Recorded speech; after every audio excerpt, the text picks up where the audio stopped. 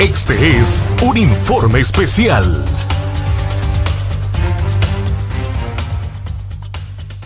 El Cuerpo de Bomberos de Lloro nos ha enviado unas fotografías de un volcamiento de una patrulla de la Policía Nacional con registro PN 253, dejando como resultado tres personas lesionadas y una siendo trasladada a un hospital. Ahí se le dieron los primeros auxilios. Esto es en la aldea El Salitre.